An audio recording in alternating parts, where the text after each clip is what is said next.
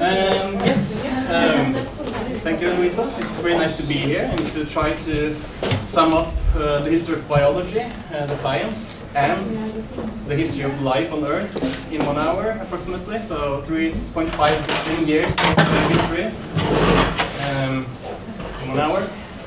So the, the biology is the study of life. And uh, if I ask you to think about what is life, uh, I think most of you will something like this, a bunch of animals, some plants, uh, and all their interactions, and uh, reproduction and things like that. But it's also uh, a sort of hidden world that most of you haven't seen before. So this is one, one cell actually, it's a Corallomyxa, it lives in the soil, uh, or the more famous amoeba, you might have seen pictures of. These are microscopic, you can see them. So how is it that we come to uh, discover them and describe them if they are so small and so innocuous that we can't, we, we can't really see them with the naked eye? Um, more examples of uh, small marine uh, animals. These are about one tenth of a, of a millimeter. Some of them I study, so these guys here I study, and uh, this uh, um, in the upper right corner, even though it's just one single cell, it can swim. Um, but life can also be even smaller, like the bacteria. But the thing is that this is really just a variation of one theme. So everything that we can see that lives on Earth right now is a variation on one thing, the cell. So there are cells, and the cells develop, and, and they take different uh, directions. So uh, in this um, um, the wheel here, and this is a tree of life, of the eukaryotic life, excluding bacteria this time. You can see some of the diversity of what's out there. So we are down here, we are animals. And we have the land plants, the green plants here, and seaweeds and things like that, uh, that there. But the total diversity is much, much more than the large multicellular organisms. So down here you have almost exclusively uh, single-cell organisms, and, but all of them are variation of one thing, the cell. Um, here is a modern picture of uh, cell. This is cell culture, mammalian cell cultures. And we have highlighted the uh, cytoskeleton structures that keep the integrity of the cell. It's green. Uh, and also the red one. And the blue one is the uh, nucleus of the cell in which lies the infamous double helix DNA. So uh, the variation in cells are controlled by DNA. All living things on Earth have the same, uh, more or less, uh, mechanism that controls and uh, sort of have the layout for how the cell is going to be, and that's the cell DNA. Sorry. Um, I will try not to be too uh, detailed and uh, do too much hard science here, but I just want to tell you that there is a pathway from the DNA double helix to complicated um, amino acid chains. Uh, amino acid chains, they fold uh, on top of each other like 3D structures and they make up proteins. So from DNA to proteins, uh, several different proteins come together, they form um, uh, form structures like this. These are one of those uh, cytoskeleton formations that you saw earlier. So a lot of different proteins stacked upon each other uh, control the integrity of the cell. so how did we find out all this? How could we get down to the uh, one millionth of a, um, uh, of a millimeter to see the resolution of the cytoskeleton that we just saw? This is a plot of the uh, say normal range of sound frequencies out there, sound and waves, and the electromagnetic spectrum. And if we plot what we can hear from about 20 to 20,000 hertz, and the small range from 350 to 700 nanometers, uh, we are basically blind and deaf. So we have relied upon different instruments to help us, for instance the microscope, and we'll come back to that one. And also uh, methods to investigate nature. So in a way, we have gone from the uh, mythological, uh, religious way of looking at nature, where you have, this is uh, Thor, Thor, uh, raging uh, across the sky, throwing his hammer and creating lightning and thunder. So that's the old or superstitious religious view. While you have um, Benjamin Franklin there, who flew a kite into the air and he attached metals to the string and he observed that lightning was uh, uh, electricity. So sort of taking it out from the mythological domain and down to um, something that is not controlled by gods. okay, so let's take a let's step back and look at the um, Earth timeline. So the Earth is approximately 4.5 billion years old. The first million or so, uh, there was nothing living on the Earth, but we think that we can see traces of what would be single-celled organism bacteria appearing 3.5 billion years ago. It's hard to see them. They, they are like small uh, dots or droplets inside uh, inside uh, rocks, like fossils, but they don't have any uh, internal structure you can see, so it's hard to say if they really are organisms, but they look like something else than naturally occurring uh, minerals, for instance. Yeah, there. And the single-celled organisms, they, they reign the Earth for more than one billion years. And suddenly they come together and started to making multicellular organisms. They started just grouping together in colonies and uh, exchanging nutrients, for instance. Uh, so the first multicellular organisms were really simple. There wasn't much differentiation in these cells. There was only the, more, more or less the same type of cells, but they were communicating somehow. And some of these uh, uh, single-cell and multicellular organisms, they acquired the ability to produce oxygen, ox oxygen from uh, carbon dioxide and water. So photosynthesis um, appeared some two billion years ago and really transformed the uh, atmosphere on Earth from something that would not be uh, habitable for us, but it was turned from uh, carbon carbon dioxide rich to oxygen rich environments. Mm. So just some uh, photosynthetic uh, organisms. We have the cyanobacteria, which are uh, the original um, photosynthetic uh, organism. Then you have plants. Um, and plants really acquired this ability uh, by a process where they sort of engulfed the bacteria that could do photosynthesis, and it kept it inside them as a symbiont. So this is one of the really large, biggest events in uh, history of Earth called the endosymbiotic event. This one can't do photosynthesis alone, uh, like we, more or less, but it eats without devouring or destroying this uh, cyanobacteria.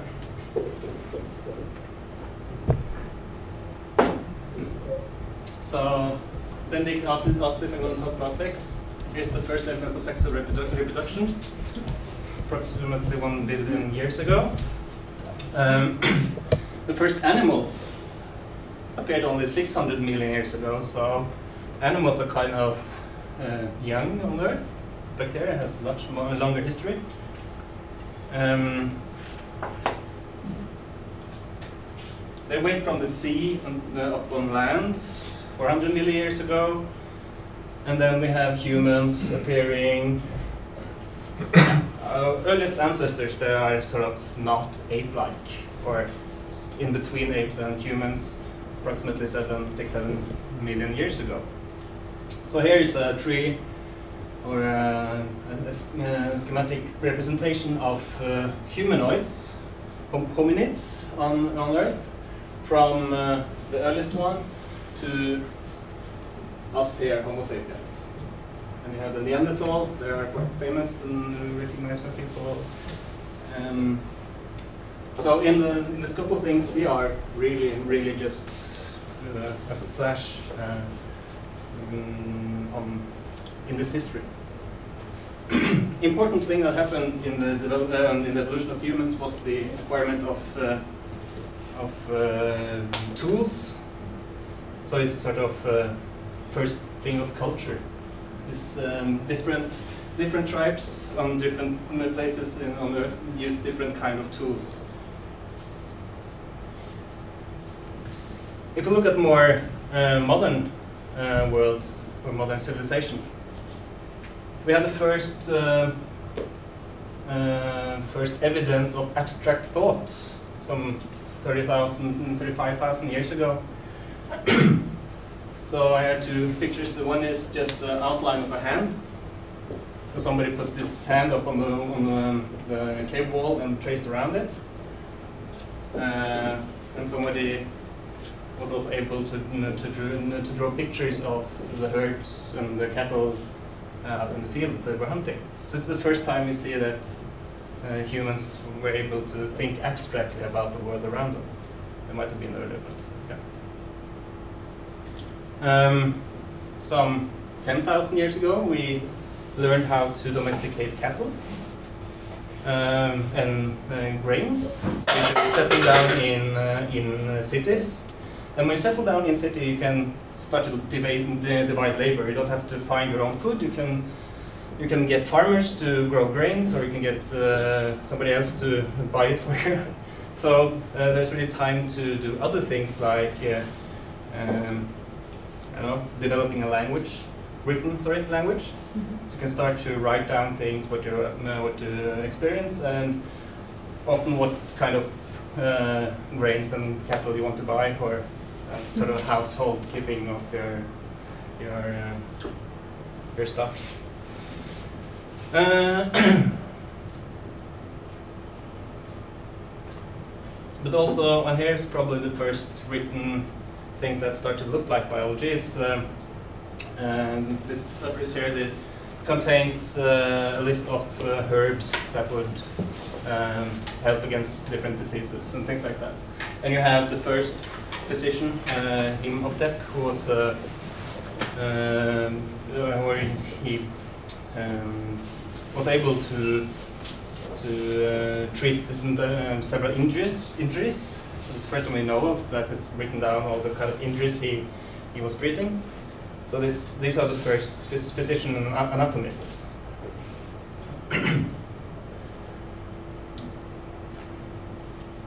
And now to the cradle of Western society, uh, civilization. I'm not going to talk about what's happened in uh, the Arabic and Islamic world because that will take too long, but uh, sort of the cradle of the, uh, the Western civilization is ancient Greece. Um, they are still in a state where they think that the gods are the the reason behind diseases, for instance, and, and uh, how seasons uh, evolve, and um, and uh, when they speculate about what the world is made of, they think that, uh, uh, well, there's this actually, I said, I said that uh, they think there's four basic elements, but there, there was uh, several different ideas. To have um, Thales, he said that uh, the, the earth, or the, sorry, the world is made of different kinds of water. And you have uh, other ideas, but the one that's uh, sort of hang around for several hundred years was the idea that the world is made of four different basic elements. Earth, air, water, and fire. But there, it's very much the gods that still control how those elements are put together. So this is Helios, uh, the sun god, who the, is responsible for pulling the sun over the sky. Um, I have to mention a couple of the old philosophers. Uh, Aristotle, one of them, uh, Hippocrates, the, another one. Hippocrates, of course, famous for being the, the godfather of uh, medicine. Um, and the change with Hippocrates uh, from previous times is that he's probably the first one who's uh, questioning the idea that, for instance, diseases are uh, put upon humans by the gods. So he thinks that uh, diseases are naturally occurring and you can do something to cure them besides uh, slaughtering a lamb or whatever you want to do to appease your gods. Aristotle uh, also uh, was perhaps the first uh, biologist in the sense that he studied nature, not only humans, but he tried to cat catalog uh, um, living things, animals and plants. So he did it based on similarity. Remember, there's no idea of evolution back here, uh, no idea of her hereditary genes or something. All of those are new um, ideas or new discoveries. So, but he, he, he can group things based on similarity. So things with four legs are more similar than things with two legs, for instance, or something what we will call superficial now. Um, the ideas of Aristotle uh, spread throughout the Roman Empire. Um, and there was, um, yeah. Um, it, so that's why I have to mention him because it, it stuck around for five, six, seven, eight hundred years. Uh, but there were other things that happened in the Roman Empire as well. Uh, this is a, a, sort of first encyclopedia of uh, of uh, the natural world. It uh, has both astrology and mineralogy and zoology and botany. So it's 37 volumes trying to describe everything around uh, what's happening from Plinius the Elder. Um, but uh, Galen, he was uh, uh, expanding on Aristotle's idea of how the human anatomy works.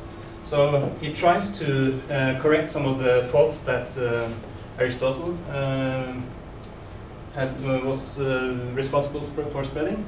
So Aristotle thought, for instance, that the head was only a uh, um, refrigerator for the blood. So he didn't think that we had cognitive abilities in the head, but rather the heart. And it was based on the fact that they could see that the heart was one of the first organs that developed in fetuses. And also, the heart is much warmer than the, uh, than the, than the head. And he reasoned that, okay, um, when you're thinking, it has to be connected to fire, to, to, to heat. So if the head is uh, cooler than the, the heart, then okay, the heart is the seat of the soul. Um, Galen, he said no, that's wrong. He was able to figure out that cognitive ability resided in the brain. His idea of uh, how the different organs were put together was that food traveled to the liver, um, together with earth and uh, with the, the, the air, we, air breathe, it's mixed into different kind of spirits. So you have the vital spirit and the natural spirit that sort of um, gives your life through your blood. It's mixed, this air mixed with food, basically.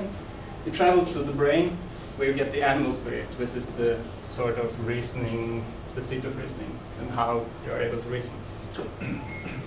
and Galen's view would uh, be persistent for a long time into the Middle Ages.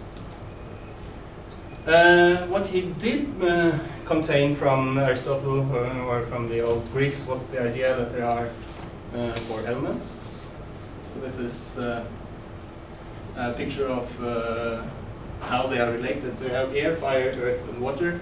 And if you combine them in different ways, if you have, for instance, hot and wet, then you have um, blood, which is related to air, and, if you have if you are hot and wet, or if you have a fever, then you probably have too much blood. So that is how they started to drain blood uh, to alleviate uh, fevers. Um, yeah, there's, a table there with other how the um, central organs and how the elements are connected together.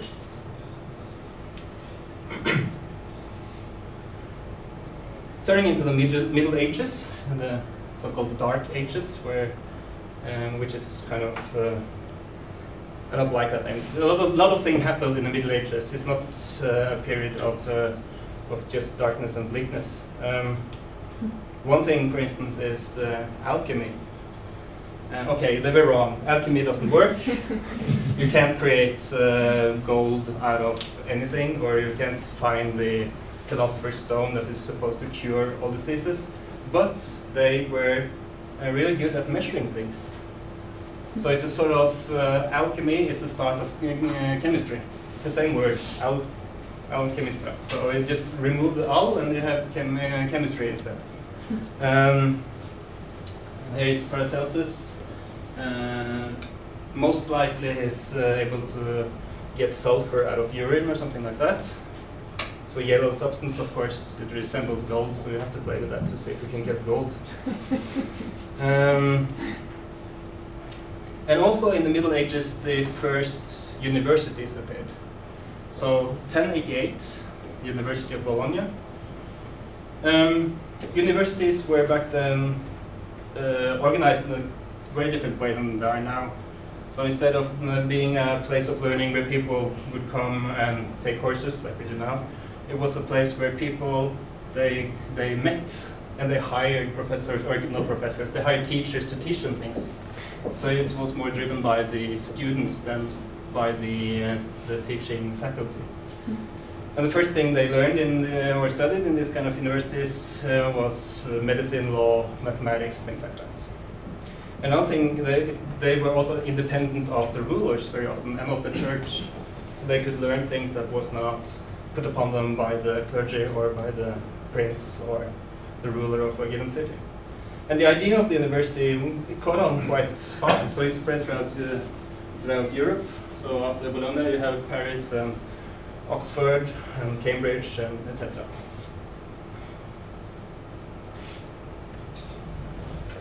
But there was, uh, uh, this is familiar for you, the, the Black Death sort of stopped uh, intellectual production for, its, for a period in, in Europe. Uh, it's estimated that somewhere between 30 and 60 percent of the population died. So you can imagine that uh, villages got deserted and things. So it really was a chaotic time. Um, it created both religious and social and economic upheaval. And it had uh, profound effects on the history of Europe. So it, it took some time before Europe recovered. Uh, but of course, it did, as we all know. Moving on to another um, important uh, technological achievement, not directly related to biology, but uh, very important anyway, it's the first printing press. So instead of having clerks sitting and handwriting on everything and copying um, uh, Bibles most of the time, you can now print on a I would say large scale uh, large scale um, enterprise. It's not, but uh, yeah, you can start to make copies that were identical, and you, and could use machines to do it. So the printing press, Gutenberg, designed the first one. It was able to print about 150 copies of the Bibles, not very many, but uh, perhaps more than a Norwegian small uh, author, I know. um,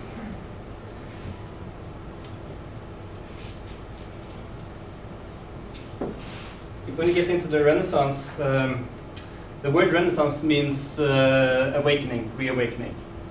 So the idea uh, is that you have the sort of black middle, middle ages where little happened, but you have then the reawakening of rationality and logic and the way of uh, reasoning like the old uh, ancient philosophers did.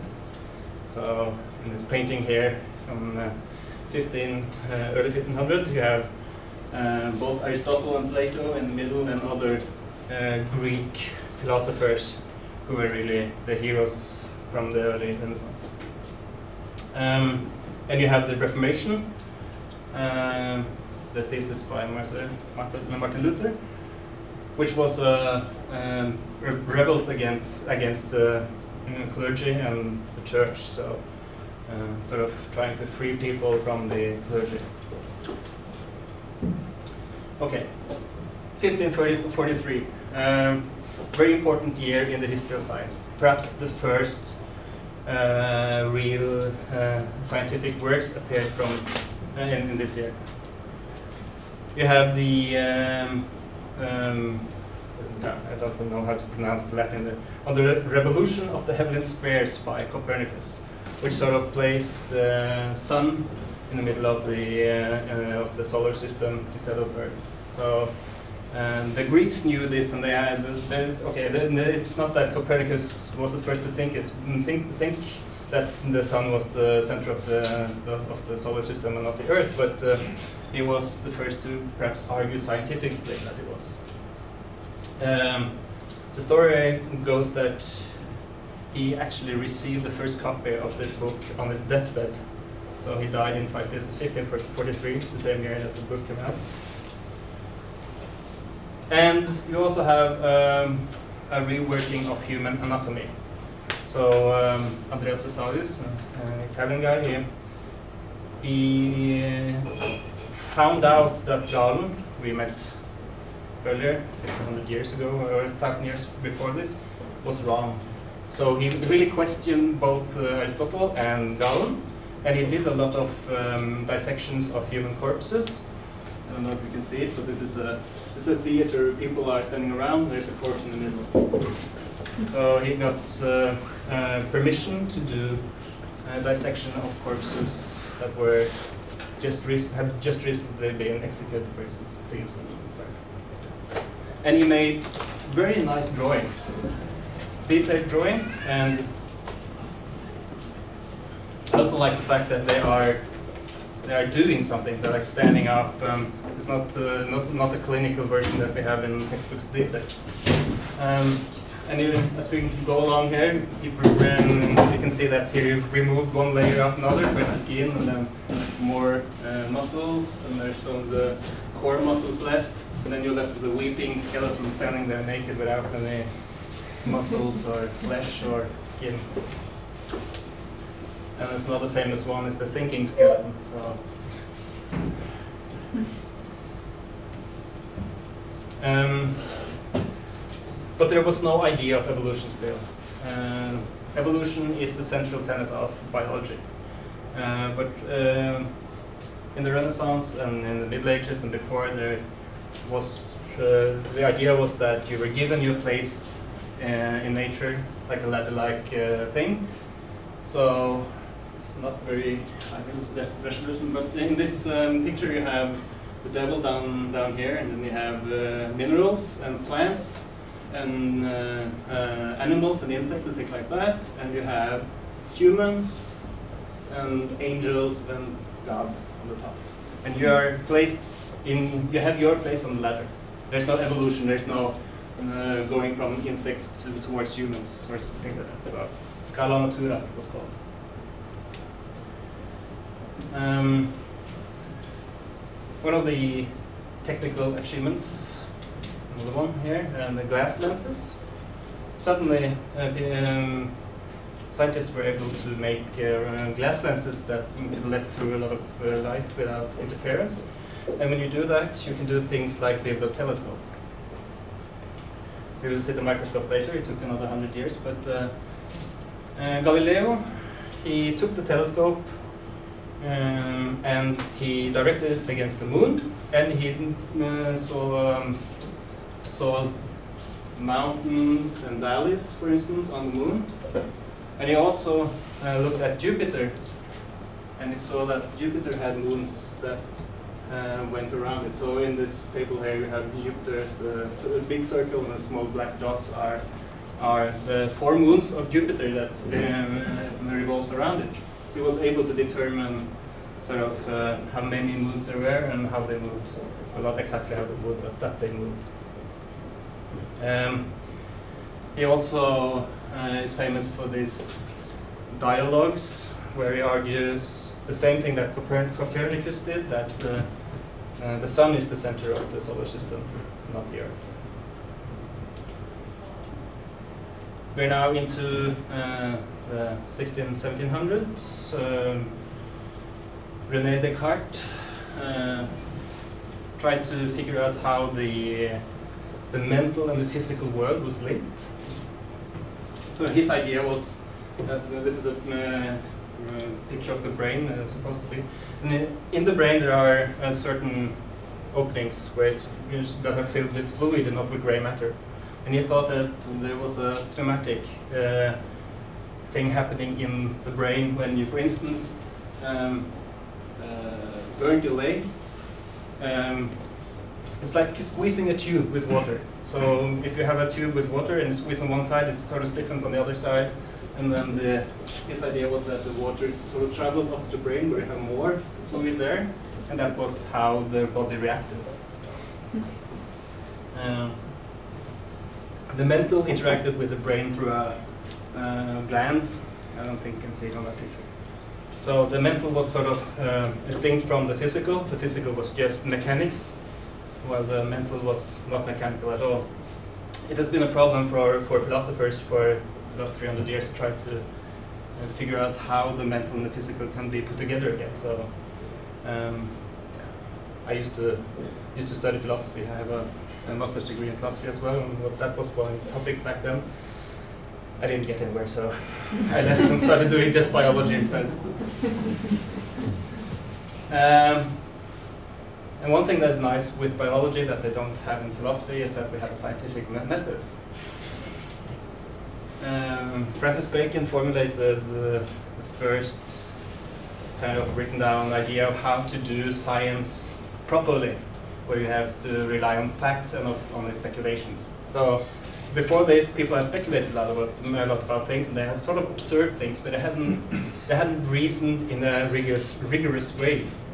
So what uh, um, Francis Bacon said that you have okay, there, there are three steps into the, in doing science. First, you make your observations, and you try to formulate a theory, and you do tests, you do experiments. So experiment was not usual to do before this. Um, okay, you can't everything you can test. You can test, for instance, the, the how many moons there are around Jupiter, but a lot of things you can test.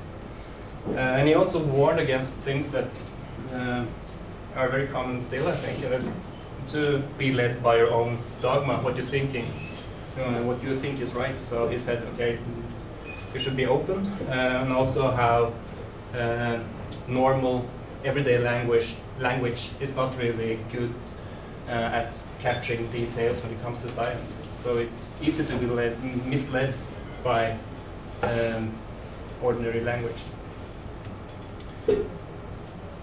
So, and speaking of uh, language, I this is a small section from uh, from one of the first books that took uh, alchemy into chemistry. So it's The Skeptical Chemist by uh, Robert Boyle. Um, they had a very nice uh, way of formulate, uh, form, uh, formulating themselves back in the days, I think. So when he wrote about elements, he, he, said that they are certain primitive and simple or perfectly unmingled bodies, which not being made of any other bodies or of one another, are the ingredient of which all those called perfectly mixed bodies are immediately compounded and into which they are ultimately resolved which is kind of crystal clear, right? Uh, but what he meant that is that there are uh, constituents of the things that make up the world that are elements which are um, like the atom theory from uh, from old uh, uh, old Greeks. So it's not they're not just floating around, but they are compounds that can react to each other, and they are discrete compounds. Um, and he also describes a lot more than earth, air, wind, and fire, which we have seen in the um, sort of uh, important elements before, but he said, no, there, there are many more. Um, I said that the um, microscope would appear a little later than the telescope, but it did. Here's the uh, um, one of the first compound good microscopes. Um, so you put your eye here, you look through a tube of metal copper, copper and they have a lens there and lens there, and you put whatever you're looking at down here, and there's a light going there so you can illuminate what you're looking at. And Robert Hooke did that with this um, uh, microscope and looked at, uh, for instance, this slice here, made uh, nice uh, detailed drawings of things that have been naked, not been visible to the naked eye before, and he also observed this. This is uh, a plant, cork, and he used the word cell for the first time. So before this, nobody had an idea that uh, uh, plants or bodies were made up of discrete entities called cells, but it was more like a floating, uh, uh, I don't know, mass or whatever. But he used the word cell, meaning compartment. Um, and this is what you probably saw. This is a, uh, modern picture of the same cork tissue that we looked at. So he, saw something like that. Um, another one who made um, the different type of uh, microscope was, I don't know how to pronounce this, Fredrik? Anthony van Leeuwenhoek. Leeuwenhoek? Yeah. No. Nee, Leeuwenhoek. okay, Leeuwenhoek. Uh, easier than it seems. Um, he made tiny, really, microscopes. So they're, I know, size of a credit card or something. Uh, it has a small lens here, and there's a uh, pin that you can uh, attach whatever you're looking at on top. So uh, he was able to see very small things, but you had to make a new microscope for everything he looked at, more or less. So he tried to fix whatever he looked at on top there. So, and it, but it, um, the, the real invention here was how he made the the, the glass lens. He didn't tell them anyone, anybody how he did it, so nobody was able to replicate the exact way he did it. But uh, he did see things like uh, single-celled organisms, like the ones I showed you uh, quite early that live in the sea. He took a drop of pond water and then looked at it, and he could see that it was um, uh, many, many organisms floating around. So think how surprised he was. He didn't- had no idea that there's things floating around in the water that's actually living. Uh, so he saw single-celled organisms, and bacteria, and also uh, spermatozoa or sperm. So his uh, rendering of how sperm looks is that you have the typical tail of the sperm, and then there's a looks like a small uh, small man sitting in the in the head there. So, so mm, he didn't know they didn't know how reproduction really worked, but they, they probably knew what thing what you had to do to reproduce, but not how the actual mechanisms mechanisms worked. Um, he saw some uh, bacteria, but viruses are way too small to observe with a light mic uh, microscope. So um, there are some uh, viruses here made. Um, made uh, the picture is made by electron electron microscopy in the 50s. The first time we could actually visualize uh, viruses. Um, a couple of hundred years after Leeuwenhoek, there was uh, a guy who uh, looked at a lot of different bacteria and classified them into groups, whether they were spiraling or just uh, making lump, uh, lumps, yeah, and, or if they were elongated or not. And he named them bacteria, which means little stick. Um, and it was also somewhere in between they discovered the first bacteria and this naming here that uh, people start to realize that bacteria is what transmit diseases, for instance, or not the only cause of the diseases, but many diseases are transmitted by bacteria or something that they couldn't see at the time, which then were viruses. Um, very important uh, publication in the history of science is the uh, Naturalis Principia uh, Mathematica uh, by Isaac Newton. First time somebody states univer universal law. So he, um, before the, this, people had described things and they were doing experiments, but it, the, the end result was not meant to apply to everything um, that is, or, or, under all occasions. So he said he has this um, these action and reaction uh, uh, laws, which are universal. They are they apply to everything that has force. And together with Leibniz, um, um, he developed a branch of mathematics, calculus, um, uh, which make uh, which uh, is the study of change. So it's easy to calculate when you have one thing and you add it to another thing, but if things really change that when you add something you lose some other and there's interaction between two systems, like in this uh, formula here, uh, which is really an interaction between the prey and predator. I'm not going to walk you through the, all, all the details here, but it says something about how the density of predators, predators will um, affect the density of, uh, of prey, for instance. Uh, it's complicated mathematics and was de developed in the in 1600s. Um, speaking of mathematics, um, I always find it kind of funny to think of that the equal sign that we are so familiar with using now, uh, it was sort of invented or used for the first time back in 1557. So this is the original um, uh, writing. Um, Robert Recorde had uh, written is equal to in this book. I, know, I, think it was a couple of hundred times before he suddenly says, and to avoid the tedious repetition of these words is equal to.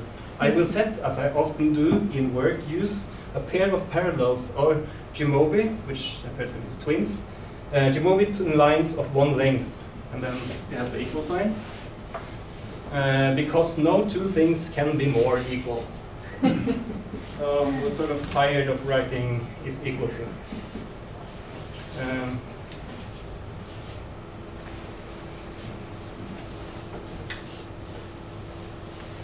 we are now getting into the Enlightenment. Um, rationality um, wins over superstition.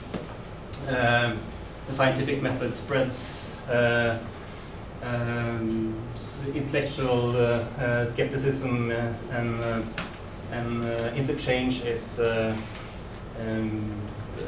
it, the, the, the, fashion.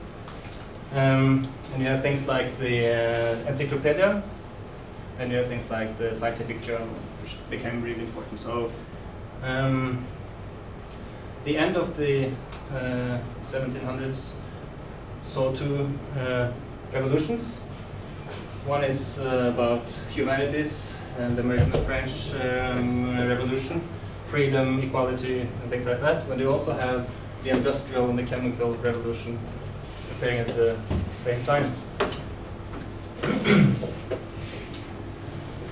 I said, the uh, uh, oxygen is important for plants uh, in photosynthesis. This was uh, confirmed in uh, early 1800s that it is a chemical process where they were able to really pull it uh, apart, the entire process. Um, we are now into uh, 19th century. Um, evolution? No, still not. So this very important idea of evolution is um, they are beginning to speculate that there has to be some change going on, but they think that this is uh, uh, seasonally or circular or something. um, species are immutable, so uh, species are created and they do not change. But um, some changes started to happen in the early 1800s. Uh, Lamarck is the first, the guy who first used the word biology. So in 1809 he said biology for the first time for uh, the study of what lives. Uh, he had an idea of uh, acquired characteristics. So he, he thought that there were, this is supposed to be a, a, a tree uh, showing the, the, relationship between the, the, very different organisms. So we have uh, single-celled organisms here. Radiaris are these radiolarians. Um, going to insects and uh, mollusks, for instance, reptiles, and then you have humans at the end. No, no, sorry, not humans. Um, apes at the end there. So there's a there's a line going between them, but he thought that there were sort of uh, a number of uh, of um, uh, ideal types of uh, organisms that they started out with and that sort of evolved. Not not that everything had a connection to one origin. And this idea of acquired characteristics for species was that uh, when you have a giraffe who has to uh, stretch his neck to to to eat, um, it will pass off uh, the acquired uh, length stretching ability or length of his neck to his offspring, who will then keep on stretching, and they will sort of pass on that acquired um, acquired characteristic characteristics of um, stretching neck.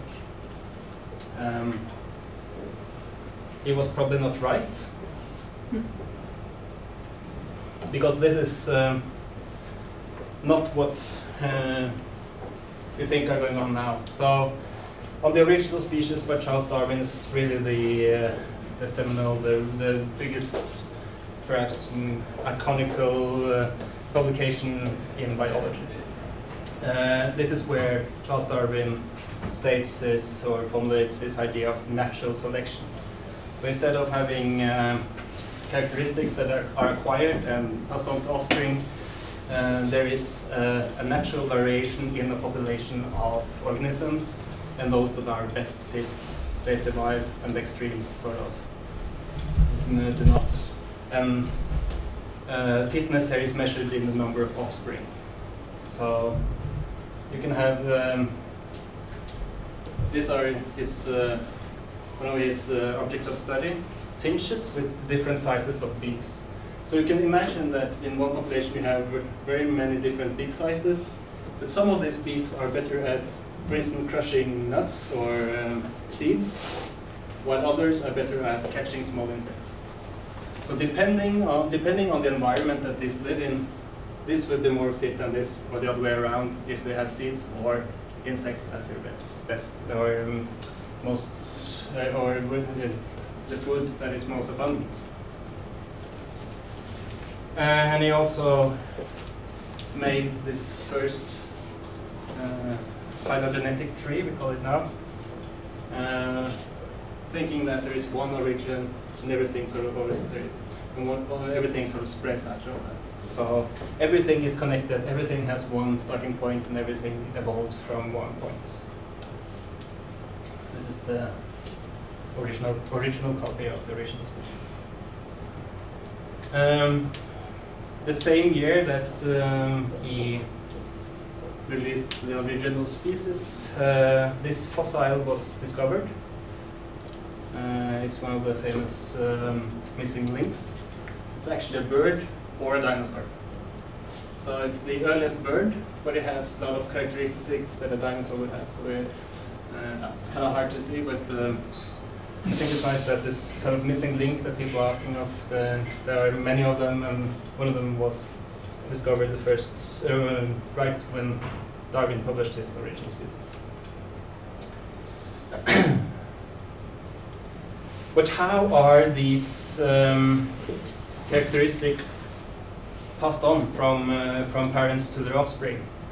Uh, Darwin didn't know. This is before we know anything about genes or or DNA.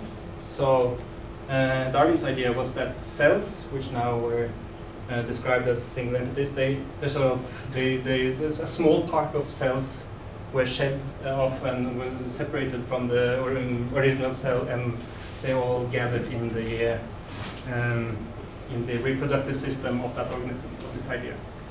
Um, he didn't know exactly how those uh, cells were, were doing that. So there were a lot of speculations, and um, I have to mention Mendel because he did uh, experiments on uh, pea pods or pea plants, and he could see that different characteristics of the plants were inherited separately. So if you have peas that are uh, round or wrinkled, and you have peas that are uh, yellow and green, those can be yellow and green, they can be wrinkled and yellow, but those two separate uh, characters are uh, inherited separately, separately. So they will go down in the family tree uh, in independent ways. Um, and the first physical unit for hereditary information, um, or the first suspects, I uh, suspect I would say, was the protein. Um, as I said uh, in the beginning, DNA makes proteins which make cells. They now know that cells contain a lot of things, and they were able to separate the different constituents of cells into each other. And they saw that proteins were these large macro, uh, macro um, molecules. And they, th thought that, okay, uh, um, hereditary information has to pass on a lot of information. So we think it's these uh, proteins, they, they can contain a lot of information. So if you compare the simple DNA structure to a complex protein, this is just one of thousands of different proteins. It's easy to be misled and think that, okay, this is, contains more information than this. So they thought that DNA was only a sort of structural thing that kept the, the cell uh, uh, integrity. Um, it also looks kind of simple because it only consists of a couple of small things. Uh, it has a sugar, this is a sugar binding thing. Um, acids uh, are things that binds the molecules together, and there's a phosphate uh, backbone that keeps these together again. And if you measure the amount of these acids, which are really those that contain the information we know now, there's almost an equal amount of all of them. So how can they contain information if there's almost the same amount of G's as it is A's, T's, and C's?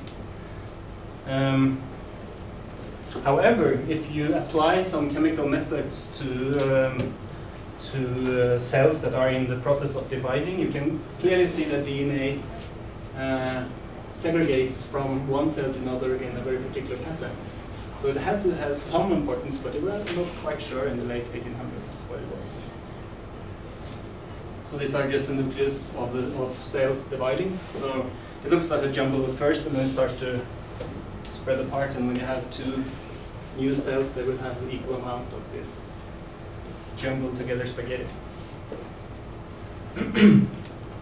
um, calculations on how these uh, traits that I said Mendel could set were um, uh, inherited separately. Uh, calculations on how they were separated or how they spread throughout the uh, population uh, was done in the early 1920s and 1930s. Statistical methods for calculating how, for instance, yellow will spread more than brown uh, pea pods were done. I'm not going to go through that, but it's a very important um, step. They still don't know what they're calculating, but they are calculating something. Um, during the Second World War, there was a group of people that um, that tried to study the chemical basis of inheritance by taking DNA from one strain of bacteria and putting it into another. So they were able to do that. So you have two strains of bacteria. One of them are uh, nice to us, and the other one is deadly, or to mice perhaps. I don't think they spread one, but. Uh, so you take DNA from the from the deadly strain and put it into the nice strain, and suddenly that strain becomes deadly as well. So you only take the DNA and nothing else. If you try to do that with other things, it won't work. And then you have this very famous paper from 1953, um, where the structure of DNA uh, is described for the first time. So this is the first paper that has this double helix structure. Before that, just right before that, a month before, uh, somebody tried to describe a triple helix where these bases are on the outside, but it didn't match up with the experiments they did. So 1953. Um, yeah, this is, this is the same before. The 50s also saw the advent of the commercial computer, which is, is very important for us now. We do a lot of computation on um, computers to calculate how different um, genes make different proteins. So in the 60s it was discovered that these GTCAs, that sort of uh, is the uh, template for all the proteins, they are uh, recovered as proteins in a very, a very specific manner. So I'm not going to go through it, but um, from DNA to protein to cell, right? Um, in 1972, the first gene uh, was sequenced. And by sequenced, I mean you have the exact order of A, T, C, and G. Um, and a couple of years later, this is the entire recipe for making a virus. a bacteriophage. Uh, looks like this. Um, this is the first bacterial genome, and in 1996, not long ago, we had the first eukaryotic genome, which was a yeast um, Saccharomyces cerevisiae. It makes beer, or you can make food. Um, you can use it to make uh, bread and things like that. The human genome was completed in 2001. The entire mass of DNA from uh, one human. It is uh, 3 billion ATCG uh, long. And if you put it in a bookshelf, it contains this many volumes of books, normal page, normal size letters. This is the recipe for making a human. and the number of DNA sequences that we have now is really exploded. So we are, this is uh, a year against how much DNA available for uh, researchers. So I started doing my PhD here or something. so I was lucky that there was a lot of DNA out there. But it has continued to explode because people do crazy things like this. they travel around the ocean, or the world, the ocean, and they sample, these are sort of the same uh, microorganisms I showed you earlier. They sample them, they did 35,000 samples, extract DNA and see, and try to find out what is out there, uh, just by looking at the genes. And for humans, we have been doing the same thing now with gut content and trying to understand the interactions between different um, um, microbes in the gut and the humans, and it's kind of very complicated. So we have to have huge computers to be able to do that. So this is from uh, University of Oslo. There's a, a gigantic computer clusters, several thousand computers talking together. I used that one for my PhD, and I spent 3 million CPU hours since October, which is about 350 years. So if I had done the calculation on this machine, it would stand there for 350 years to do it. Yeah. So I close up with this slide. and the Thousand Genomes Project, uh, it's a project to gather the complete inheritance, uh, the genomes from at least a thousand people. I think they've scaled it now because the cost of doing this has gone down. But, uh, you can try to compare people across countries, uh, continents, and then to do that you can see what really uh, makes people different, or you can try to look for the genetic uh, um, how genes can cause, for instance, cancer and uh, diseases. And perhaps, I, yeah, I stop there.